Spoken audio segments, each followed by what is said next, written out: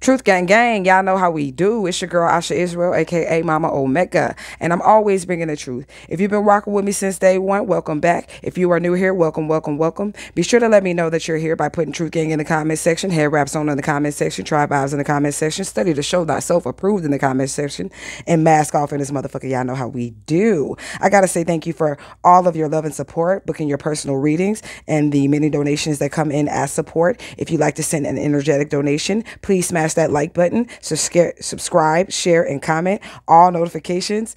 Uh, make sure that they are on and click that bell. Y'all know how we do.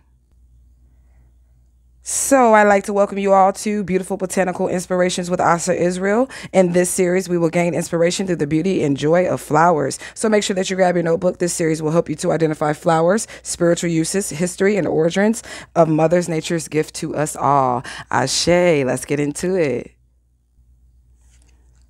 All right. So our inspiration from today is we're going to get it from the gerbera flower. The gerbera daisy. That's how we're going to say that. The gerbera daisy. And this is going to represent purity, cheerfulness, and innocent. The positive quote with this flower is the present moment is filled with joy and happiness. If you are attentive, you will see it.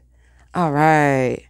European miners first discovered the Jerba daisies in South Africa in 1884 when the botanists started breeding programs in the 19th century. Jerba daisies became some of the most cherished flowers in the world because of the rainbow of vibrant color variations that became available. Egyptians left the Jerba, the Jerba in the high closeness of nature and devotion to the sun. The Celtics believed that the Jerba daisies had the power to remove sorrow and stress. Jerba daisies of all colors, especially yellow and pink, bring about lightheartedness and happiness. The white daisy holds the special meaning of purity and the innocent joy of childhood. The inspirational message with this beautiful flower is the child finds innocent pleasure in picking a daisy and discovering joy when she gives that flower to someone special. When you spread joy around, you will find that you have more than what you started with. Thank you guys so much for joining me for your beautiful botanical inspirations with Asha Isreal this morning. If you guys like it, make sure that you like, to share, and comment.